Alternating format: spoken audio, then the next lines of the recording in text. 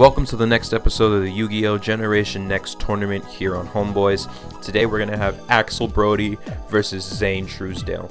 So going over Axel's deck, uh, he runs a volcanic deck uh, and he also only plays fire pyro type monsters. So really really limited as far as what monst what good cards we can throw into the deck.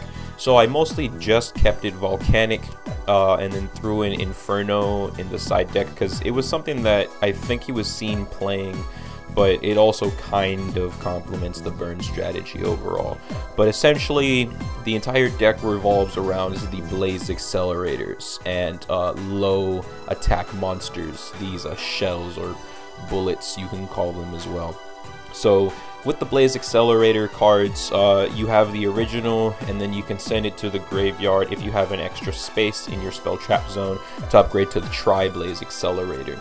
And essentially, by throwing away a Pyro monster um, from your hand, you can go ahead and destroy any monster on the field, but you're not allowed to attack for that turn. Uh, if you use the OG, the monster you send has to be 500 or less attack points, but if you use Tri-Blaze, it can be any Pyro monster in your hand, and you also get to do 500 damage, which could be amazing if you end up drawing one of your Volcanic Scatter Shots, because with Scatter Shot, when he goes to the graveyard, your opponent loses 500. And then, if he went to the graveyard because of one of your Blaze Accelerators, you can throw away two other copies from your hands or decks, and then Raigeki your opponent's field, and then on top of that, do another 1000 damage. So if you were to combine one copy of this with Blaze Accelerator, I believe that's off the top of the head 2000 points of damage, plus destroying every single monster that they have. Could be very, very deadly. Then another monster to really look out for against this deck is Volcanic Counter, because when it's in the graveyard, the next time that you receive damage, Volcanic Counter automatically banishes himself from the grave and reflects that damage at your opponent as well. Uh, so this takes a lot of strategy to correctly pull off, and it takes a little bit of baiting as well, since the user doesn't have control over what damage gets reflected. Uh, Volcanic Rocket is easily the most important monster in the entire deck because he searches the Blaze Accelerators uh, straight from your deck. Then the big boss monster is Volcanic Doomfire, who can only be summoned by getting rid of a face-up Tri-Blaze Accelerator. Whenever he destroys a monster by battle and he goes to the graveyard, he can destroy all of your opponent's monsters and do 500 damage per monster. So he can be really nice and with a big 3000 attack, really hard to get off, but that's why in the side deck we played three copies of Blaze Accelerator Reload. Now, while this does qualify as Tri-Blaze Accelerator, it's also kind of sucks because it's a trap card, meaning you have to wait one turn. But not only does Tri-Blaze not stop your entire battle phase, it can give you some draw power. So plus and minuses.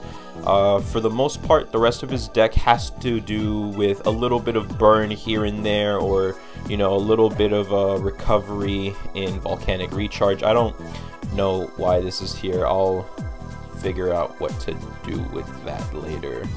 I'll give you an update if Axel survives or whatnot. And really, that's it. He does have a good amount of draw cards in Blasting Vein, destroying his own spells and traps to get cards to his hand, or Volcanic Cyclone, which can potentially MST multiple cards, but it also costs you your hand, but you get to draw anyway. So, really just balances out. Uh, and uh, there's not too much to talk about in the side deck. It's really just multiple copies of some of his main deck cards. There's Volcanic Queen here, though, which is really interesting. Uh, you contribute an opponent's monster in order to summon her to their side of the field. Uh, the person who controls this loses a thousand points of damage at the end of their turn unless they tribute another monster, except for Volcanic Queen herself. So could put somebody into a into a predicament, but with 2,500 attack points, could also easily backfire because, as you see, Axel doesn't run any sort of way to stop attacks. So we'll see how he does. And now on to Zane's deck. Now, while Zane Truesdale was one of the strongest duelists in the entire show, you can see that his deck building uh, was not actually his strong suits, and so writing really, really carried him to a lot of those victories. He only played a very small number of monsters, with Cyber Dragon being a tribute monster, even though it has an amazing effect, it could brick, and then you have these monstrosities that people dare call Cyber Dragons. And they're just really, really hard to summon, and in total, they take up four spaces in the deck. Uh, so I had to really just throw in more modern support just to kind of give him more monsters he could draw. Otherwise, this would be three copies of Proto Cyber Dragon, which would be really gross. But essentially, everybody knows Cyber Dragon is more or less a fusion deck. They have beatdown strategies, more specifically OTK beatdown strategies. They have card removal in some instances, and being machines, they have access to a couple of different techniques.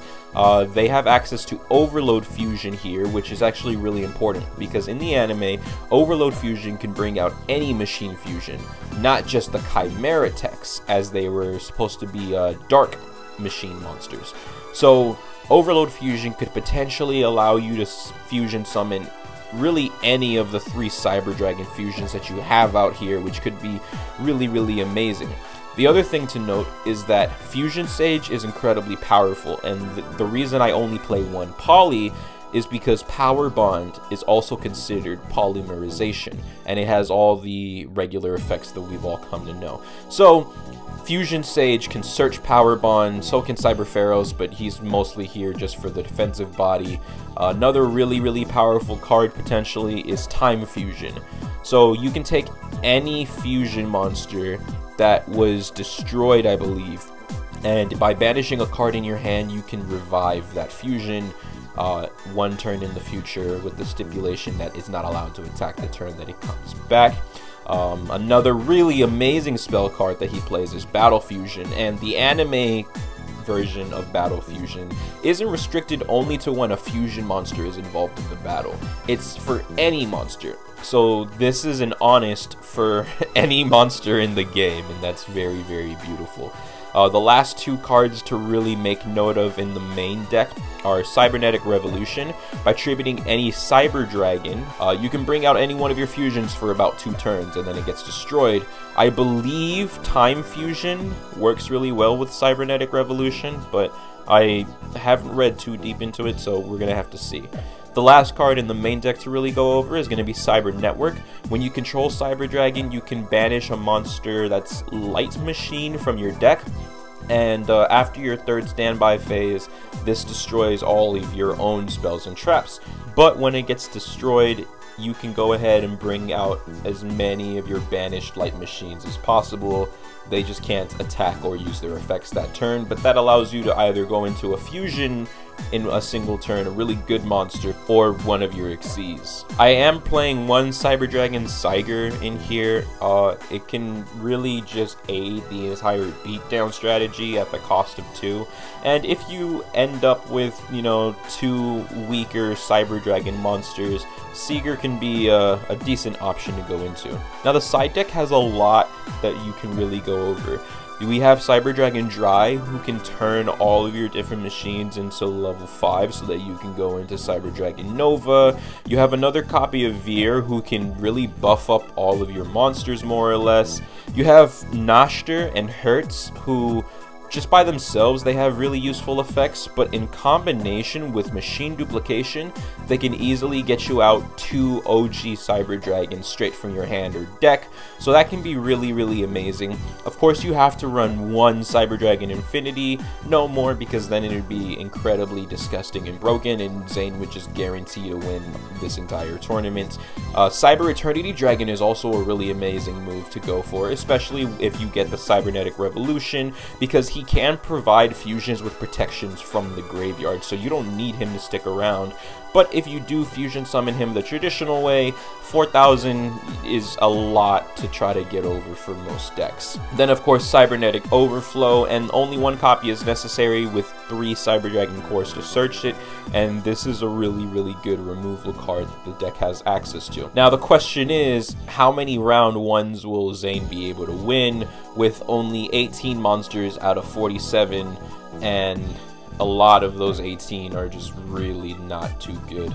uh, we'll see how he ends up performing against Axel right now. Okay, so Axel Brodie is going to be starting off this duel, and it doesn't look like he really has too much to go on. Even his face down is going to be a bluff here because he doesn't have monsters to trigger it, so he's just going to have to pass. And Zane is going to open up with the Cyber Phoenix, which is really, really nice to start with because if it dies, Zane can go ahead and draw a card, but as long as it's in attack mode, he can negate spells and traps that targets machines, which effectively shuts off his Blaze Accelerator from being able to do anything. Instead, anyways, Axel Brodie doesn't realize this, and it fails to trigger, so instead he sets a shell and decides to pass. Zane's turn now, he has Cyber Dragon Zwei, who can actually rise up to 1800, he knows that Axel doesn't really have anything, so he decides to go in with the Cyber Phoenix and then attack directly for 1500. Now on Axel's turn, he pays 500 to search for another Volcanic Shell, and he uses a Blasting Vein to get rid of his trap card in order to get two more cards, allowing him to draw into the Volcanic Rocket, who can now search for the Tri-Blaze Accelerator. However, Tri-Blaze Accelerator still can't pop anything, but with the 1900 body, he doesn't need to do that. Zane ends up drawing a Cyber Repair Plant off of Phoenix, which isn't live yet, but could be really, really good later on. So using Instant Fusion, he pays a thousand to get out Panzer Dragon, and while it has a good effect for when it gets destroyed, really it's only here as an extra body. Zwei can reveal a spell card in Zane's hand in order to become the Cyber Dragon. And so by doing this, he's able to fusion summon with Panzer for the Chimera Tech Over Dragon. But in addition to this, by putting Cyber Dragon Zwei in the graveyard, he's able to now activate the Cyber Repair Plant to get another Cyber Dragon monster to his hand for later. Not that he needs it though because he's gonna get over the 1900 body with Battle in order to gain 1900 himself. So now with that big damage, Axel is left with a measly 1600 life points. But Zane happened to have a defusion in order to split up the Over Dragon into Panzer and Zwei and go in for game while not even utilizing all the other combos he had access to.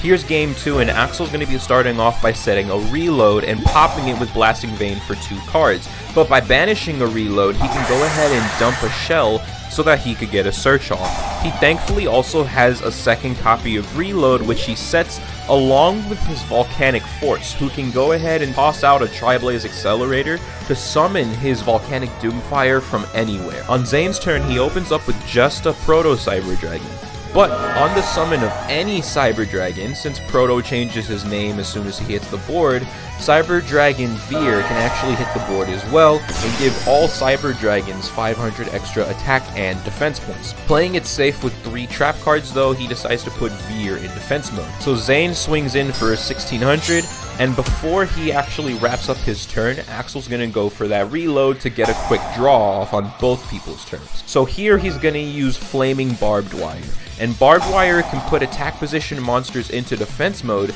and change their original defense to zero, meaning that he's going to be left with 500 defense after the effective Vier. The only downside being that when you use Barbed Wire, you can't attack directly this turn, but Axel's not planning to anyway, so it works out. He uses Shell to search out another copy, and then banishes one in his graveyard for Inferno. With 1100 attack and Proto Cyber Dragon only having 500, this could potentially activate Inferno's effect in order to deal a massive 1500 damage to make up for the fact that he can't attack directly. Then he uses reload in order to get another draw and he happens to go into the volcanic rocket which is perfect since he has a normal summon yet, giving him another 1900 body and access to a Blaze Accelerator card. So going in with Inferno trying to get that 1500 damage, Zane actually activates Attack Reflector unit to whip out the Cyber Barrier Dragon with a massive 2800 and now Zane has no monsters that Axel's able to kill in battle. So Axel is forced to flip over the Volcanic Force, allowing him to bring out the Volcanic Doomfire in exchange for his draw card. But now that he's able to pop a monster, Doomfire can destroy both Cyber Dragons, allowing him to mysteriously attack directly because I swear that Barbed Wire said he wasn't able to do that, so I guess the card wasn't programmed correctly. Uh, either way, the life points are now about tied, and on Zane's turn, Axel activates Draw Blast, initiating a 1000 damage assault. In response, all he really has is a face down monster, and since Zane never fusion summoned this duel, uh, every card in his hand really is dead right now. And to add insult to injury, not only is Axel going to dump a card from his deck, but he's going to use Ceasefire to stack on an extra 2000 burn damage, and put a Volcanic counter in the grave just in case Zane did have something. So going into a Flame Vixen just to flex on this man, uh, Axel is actually going to run over the Pharos easily and take this round. Now at this point, both of the rounds have been won due to the other player bricking, so it's interesting to see where this is going to go, especially because as we can see, Axel has bricked already. Zane starting off really, really hard with a Cyber Dragon Core in order to get another Trap card, and he's using the different dimension capsule, so we have no idea what card he's sending two turns into the future. He also has set 3, meaning he has a really strong backboard presence. But on Axel's turn, he's still not done because he's gonna use the Cyber Network in order to start stacking up monsters in his Banish pile for three turns down the line for a potential big fusion play. Thankfully, Axel has the Volcanic Slicer, so he does have a body that he can put onto the board, but he doesn't have too much else. So if Volcanic Slicer ever gets moved out the way, then Axel's more or less done for in this situation, and unfortunately for him, Zane had the Cybernetic Revolution to instantly evolve Cyber Dragon Core into the Cyber Twin Drag. Zane also calls back his Cyber Dragon core so that he has Cyber Dragon to use Network's effect once again, but not before Axel activates Draw Blast to try to sneak in at least a thousand damage, because what else can he really do here? Wasting no time, Zane attacks in with the Cyber Twin Dragon, however, a monster summoned with Cybernetic Revolution actually isn't allowed to attack directly, so, since it's going to be destroyed at the end of this turn anyways, he decides that it's best to go into Cyber Dragon Sieger so he can be left with a 2100 on board. And since its name is also Cyber Dragon still, he can still use Network's effect. Axel once again has absolutely nothing to really work with, so he sets Ceasefire and Counter. It turns out that the card that Zane actually removed from play earlier was just a card that he didn't want to end up bricking with later, since he has enough really going for him that he doesn't need the extra card. Honestly, an absolute flex in my opinion. Now Zane is going to go for the Fusion Sage in order to grab a Power Bond. He decides to banish Pharos for whatever reason, and he attacks over the counter, passing it back over to Axel. Now, with Volcanic Counter in play, Axel Brodie has to be incredibly smart with what he decides to do and in what order, but unfortunately he draws a Tri-Blaze Accelerator instead of one of his copies of Reload. If he had Reload, then he could have easily gone into Doomfire and even revived it again in about uh, the next turn or the same turn or whenever. So Zane gets one more Banish, and since his only monster is in the extra monster zone, come turn 3, and he gets 5 monsters out from his removed from play pile. Now keep in mind these monsters aren't allowed to use their effects, so Cyber Dragon Zwei isn't allowed to change his name. But Zane already has the power bond he searched for, but in response, Axel Brodie is going to activate his ceasefire to do a massive 3,000 points of damage. So that automatically removes Zane's option to go for the Cyber End Dragon because if he doesn't kill this turn, that would mean that Zane himself loses. Instead, he has to settle for a second copy of the Cyber Twin Dragon, which has 5600. And to make things even worse, he has a copy of Cyber Phoenix. So if any of his machines get targeted by a card effect, he can automatically negate it. However, he's not allowed to attack this turn due to the effect of Cyber Network, so he has to pass and take the 2800. Putting him with only 1200 is really, really dangerous because out of every single monster on his field, none of them can kill Axel within a single attack, meaning Volcanic Counter can easily win this game for Axel Brodie even though he opened up with an absolutely pathetic hand. Now here, Axel draws into the 1200 Volcanic Blaster, which he summons in attack mode. He attempts to swing into the Cyber Twin Dragon in order to activate his Volcanic counter from the graveyard and snatch victory out of Zane's hand, but he actually activates Defusion to remove it from the field, meaning that there is no play that he has left that can save him in the next turn. So he simply decides to crash into the Phoenix, and he passes turn not really being able to accomplish anything after all. With no monsters left on the field, Zane decides to stun a little more by going into the very useless Cyber Laser Dragon so that he can have extra bodies on the field for an overload fusion in order to take out Axel with the massive 8,800 attack. Zane Truesdale has won the duel.